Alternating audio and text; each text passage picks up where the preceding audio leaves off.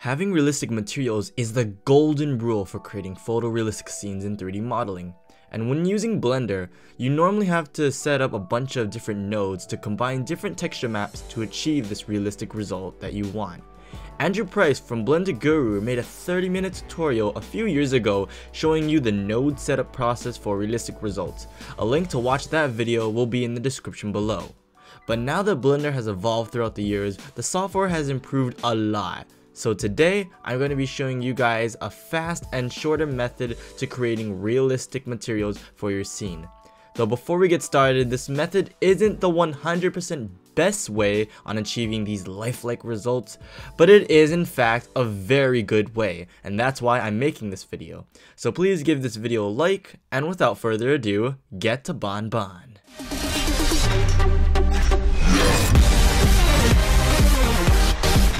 So I set up this simple scene that took me hours to make. Just kidding. But in this scene, I have one lamp, the default cube, and a large plane which we'll be putting our material on in this video. So let's just drag this window a little or halfway up the screen, and then click the button on the lower left, and go into the node editor. Once you've opened it up, remember to make sure that you have your nodes turned on by clicking the checkbox near the sentence Use Nodes now we're going to add a node by clicking the add button down here or by clicking shift A on your keyboard and then we're going to first search the image texture node. Now let's go ahead and search for the diffuse texture that you want to use.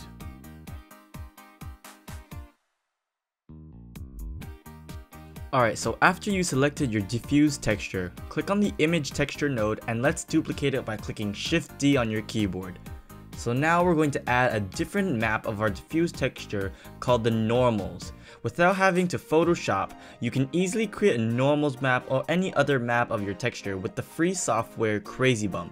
This software is fast, easy, used by multiple artists, and works on any computer platform.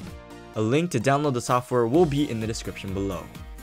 Go ahead and select your normals map version of the texture and be sure to change the node color space to non-colored data.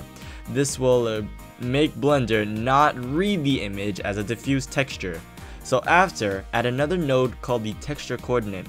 You'll be able to use this to not only properly apply your image into the mesh, but as well as input into a UV image, set the mapping, and more. We'll next add a normal map node. For those of you guys who've been wondering, this will be connected to the image texture node with our normals texture. The normals texture tells the software where the bumps are in the texture. Then the normal map node would map and apply the normals into the mesh when connected to the normal input in the diffuse node. I feel like I said the word normal too much.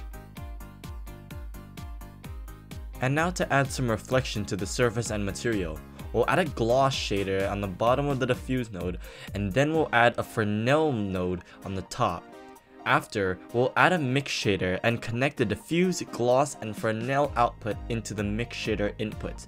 This mix shader will not only combine the nodes together, but as well as balance it out to make sure that the material isn't too diffuse or too glossy.